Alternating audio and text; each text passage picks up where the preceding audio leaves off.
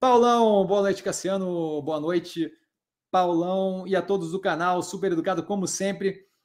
É... E as criptos, cada dia que passa as notícias pioram. Pois é, assim, ó, foi comentado é, algumas vezes aqui no canal, tem vídeo sobre isso, tá? De que aquilo ali não é investimento. A gente, é, acho que cada vez mais é, fica, fica claro ali a, a, a, a dinâmica do setor, que é muito vinculada a você encontrar alguém que está disposto a pagar mais do que aquilo, e é isso a dinâmica do setor, certo? Então, valor agregado efetivo, underlying asset, o que tem por detrás daquele título chamado Bitcoin, não é nada, certo?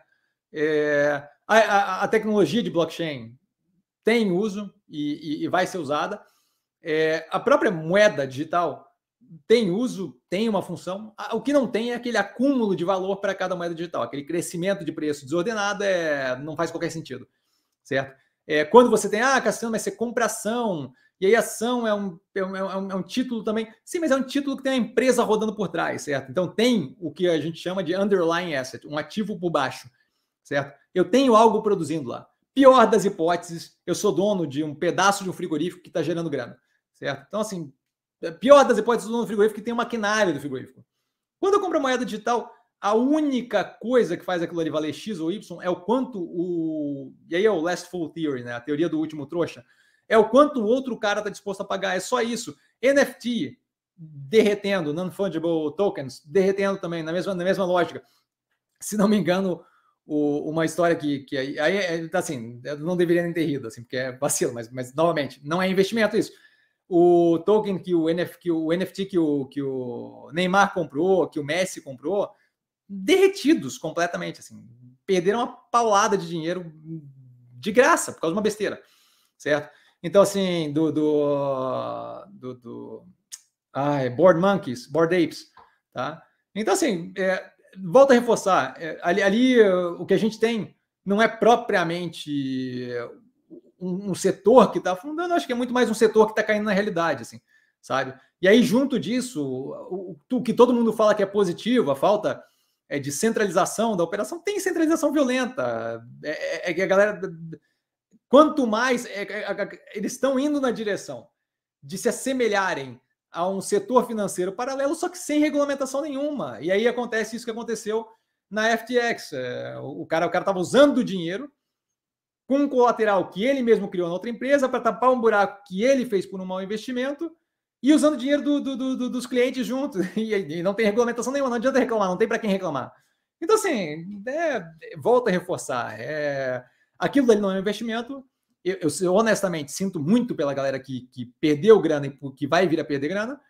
Tem um seguidor do canal que me encontra na academia corriqueiramente. O cara é um doce, gente fina pra caramba, duas vezes o meu tamanho, gente finíssima, um doce assim, muito, muito, assim, gentil, educado, juro para você. E ele opera moeda, ele opera cripto.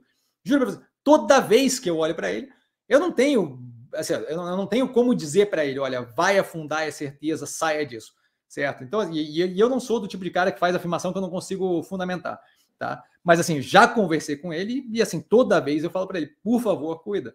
Por favor, cuida, porque de verdade, assim, a última coisa que eu gostaria é de ver aquele cara tomar uma raquetada na cabeça por causa de uma imbecilidade dessa, que assim, tem algum, alguma função ou uso, mas o jeito que as coisas andaram. Sério, assim, uma coisa que eu gostaria de ver. É, alguém lembra daquela cena do GOT, do Game of Thrones, que a, a mulher lá é feita. É, ela, ela tem que caminhar a cidade inteira descalça com a galera berrando shame, shame, tipo vergonha, vergonha. Matt Damon, esse pessoal que propagou moeda cripto deveria passar por um processo muito parecido. Não agressivo daquele jeito, mas muito parecido. Porque, assim, é vergonhoso. Certo? A quantidade de gente que botou. É... Cara, economia de uma vida, brother. E, e, tomou na cabeça por causa disso. É, é sem noção, assim. Volta a reforçar. É... Os casos que eu escuto dessa história, com podcast e tal, assim, são coisas que me deixam assim, ultrajado e muito, muito revoltado com a situação como um todo. Tá? Então, assim, Volto a reforçar, aquilo ali não tem fundamentação para ser investimento. É por conta e risco de qualquer um. A última vez que eu falei com esse parceiro da, da, da, academia que segue o canal, ele falou para mim: não, não tô comprando e tal, não sei o quê. E eu falei assim, pô, brother, assim, sabe, com olho de cachorrinho, assim, do tipo, por favor, cuida. E aí ele falou assim: não, fica tranquilo. Então, assim, não tem como ficar tranquilo, certo? Mas assim, é no final é a decisão de cada um. Então, mas, mas volta a reforçar. A gente ainda não viu o final daquilo ali. E, novamente, volta a reforçar, não vai ser bonito. E as pessoas tendem a confundir as coisas.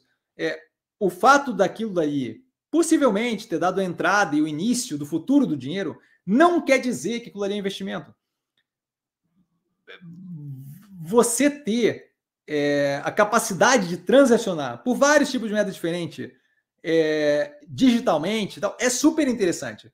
Mas não quer dizer que aquilo ali deveria subir de preço a cada semana milhares de reais. Não faz qualquer sentido. Certo? Grande parte da, da determinação e da e, e da, do valor que se tem numa moeda é justamente o nível de estabilidade. Quanto mais volatilidade tiver, menos efetivo aquilo ali é para mim. Certo? Então, assim, é, é, me, deixa, me deixa triste o, a quantidade de gente que tomou na cabeça por causa daquilo.